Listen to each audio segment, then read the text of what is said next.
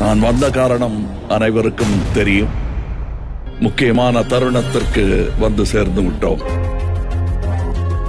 ஆருடம் சொல்லும் ஆஜேத் இந்த வாட்டி என்ன சொல்ல நினைக்கிறீங்க? எச்சி முழுங்குறாரு வேல் முருகன் எனக்கு நான் தான் போவேன்னு நினைக்கிறேன் சார். நீங்க ஜோசியர் ஆயிட்டீங்களா இப்ப? கன்ஃபார்மா அப்ப அதையும் தாண்டி புனிதமானது.